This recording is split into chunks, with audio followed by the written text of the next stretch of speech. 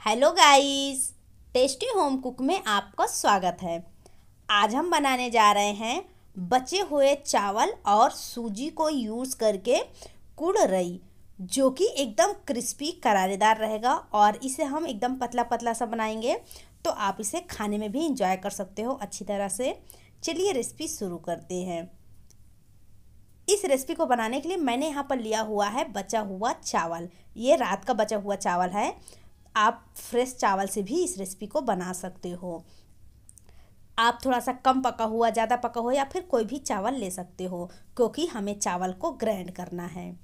तो आप चावल को बड़े से ग्राइंडिंग जार में ऐड करिए और उसके बाद फिर जो है ना, थोड़ा सा पानी डाल करके ग्राइंड करेंगे। क्योंकि अगर हम ऐसे ग्राइंड करेंगे ना तो बिल्कुल भी ग्राइंड नहीं होगा। ग्राइंड करने से चावल के जो बड़े बड़े पीसेस होते हैं ना खड़े खड़े वो ग्राइंड हो जाता है अच्छी तरह से। तो थोड़ा सा पानी यूज़ करेंगे, बहुत ज़्यादा नहीं, क्योंकि अगर ज़्यादा कर देंगे तो फिर हमें सूजी ऐड करने की आवश्यकता ज़्यादा पड़ेगी। तो ये देखिए, मैंने अच्छी तरह से ग्राइंड कर लिया है। कुछ ऐसा है। तो अब हम इसमें ऐड कर देते हैं बाकी की चीज़ें। सबसे पहले ऐड करेंगे आधा चम्मच नमक। नमक आप अपने टेस्ट के अकॉर्डिंग ऐड करिएगा और मिक्स करेंगे। वैसे कोई भी पापड़ या कुर्रई वगैरह बनाई जाती है ना तो नमक थोड़ा सा कम यूज़ किया जाता है, क्योंकि कि कोई ज़्यादा खाता है, कोई कम खाता है तो आप उस हिसाब से यूज़ करिएगा। इतना ज़्यादा जो है ना गीला गीला लग रहा है तो यहाँ पर हम सूजी का यूज़ करेंगे। तो मैंने यहाँ पर आधा कप सूजी ऐड किया हुआ है।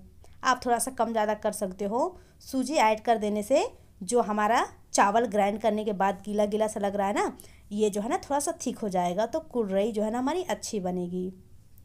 दस मिनट सेट होने के लिए रख दीजिएगा ताकि सूजी फूल जाए। दस मिनट बाद मैंने कैप उठाया हुआ है। ऐड कर देंगे थोड़ा सा मीठा सोडा। इससे हमारी कुर्रई जो है ना बहुत ही बढ़िया से फूलती है। एक बार फिर से सभी चीज़ों को मिक्स करेंगे।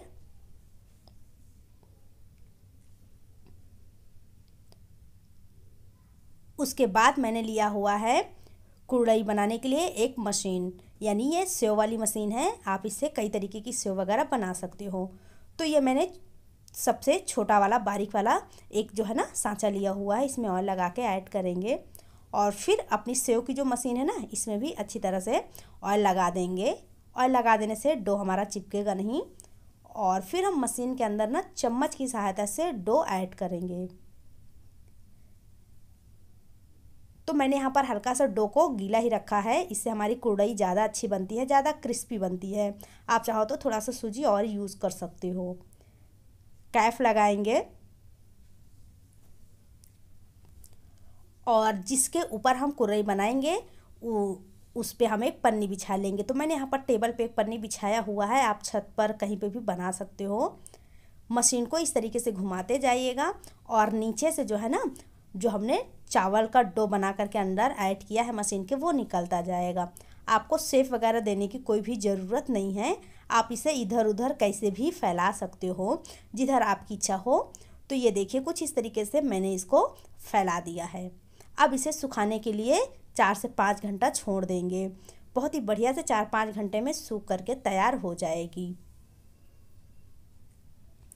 पाँच घंटे बाद सूख गई हमारी कुड़ई और मैंने इसे बाहर निकाल लिया है।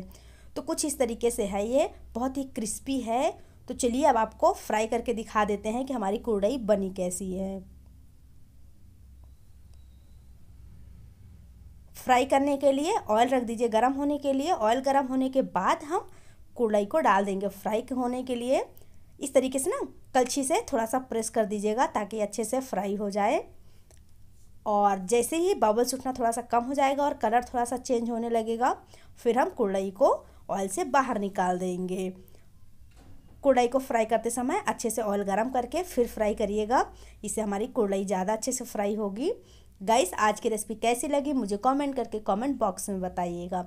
वीडियो अच्छा लगा हो तो वीडियो को लाइक करिएगा, दोस्तों के साथ शेयर ज़रूर करिएगा। अगर आप इस वीडियो को यूट्यूब पे देख रहे हैं तो चैनल सब्सक्राइब कर लीजिएगा। फेसबुक पे देख रहे हैं तो तारा कुशवाहा फेसबुक पेज को फॉलो करिएगा।